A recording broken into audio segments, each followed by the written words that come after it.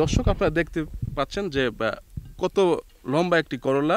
এটা মনে হয় এখনও পুরোপুরি খাবার না হয়নি। এটা আরও প্রায় চার থেকে পাঁচ দিন লাগবে। তিন দিন প্রতিদিন কৃষি বারো মাস।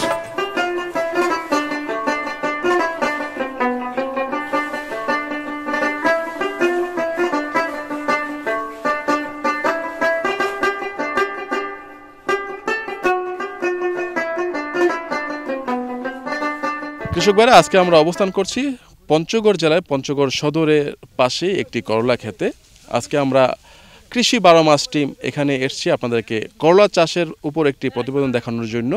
আশা করি প্রতিবেদনটি আপনাদের ভালো লাগবে।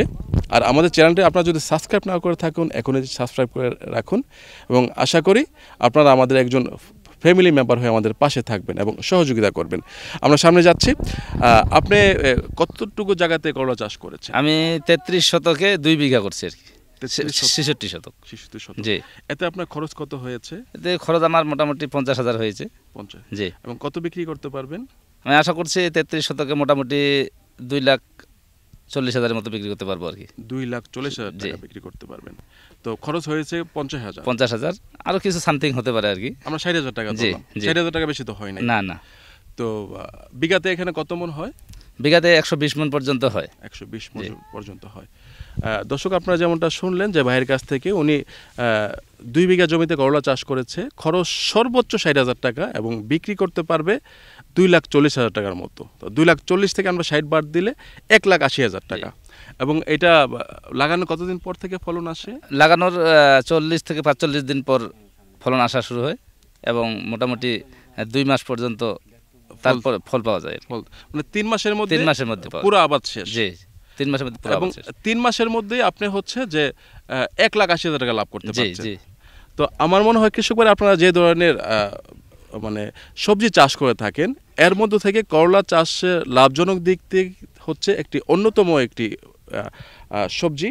এই দেখতে পাচ্ছেন যে থোকায় থোকায় ধরে আছে। এটি মনে হয় যে আরও লম্বা হবে। যে এটা আরও লম্বা হবে। এটা প্রায় এক হাত পর্যন্ত লম্বা হবে। এক হাত পর্যন্ত লম্বা হবে। এক হাত এক হাত লম্বা কি কোনো করলা আছে আপনার এখানে? জি আছে এখানে। এক হাত লম্বা হয়? এক হাত লম্বা হয় এটা তো হ্যাঁ এটা আমরা ছিঁড়ি। এই যে, হ্যাঁ। এই যে দেখেন মোটামুটি এক হাত পার হয়ে যাবে।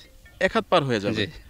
আপনি একটু আমি একটু মেপে দেখি এটা একটু আচ্ছা ঠিক আছে। হ্যাঁ, দর্শক আপনারা দেখতে পাচ্ছেন যে কত লম্বা একটি করলা।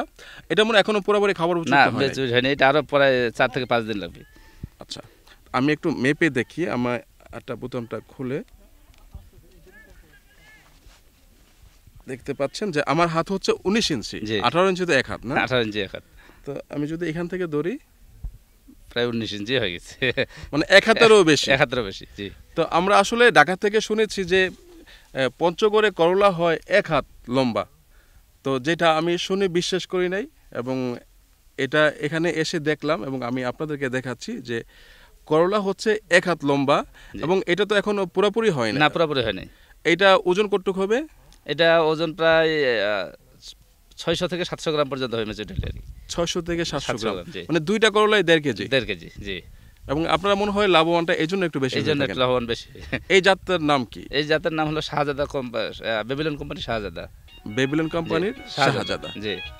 আচ্ছা বেবিলন কোম্পানির শাহজাদা আমি আর কথা বাড়াচ্ছি না আপনারা যদি কেউ করলা চাষ করে লাভবান হতে চান এই বেবিলন কোম্পানির শাহজাদা এই বীজটি আপনারা লাগাতে পারেন এবং এমন লম্বা এক হাত করে আপনারা করলা পাবেন এবং ওজনটাও বেশি পাবেন দামটাও বেশি পাবেন। লাভবানও বেশি হবে। যেটা আপনি হয়েছেন। তো আমরা আজকে পঞ্চগড় থেকে আমাদের কৃষি বারো মাস টিম বিদায় নিচ্ছি। আগামী পর্বে আপনার জন্য আমরা অন্য কোনো জায়গা থেকে আরও কিছু ভিডিও দেখাবো। সেই পর্যন্ত আপনারা আমাদের সঙ্গেই থাকুন। আপনাকেও ধন্যবাদ। ধন্যবাদ আপনাকে।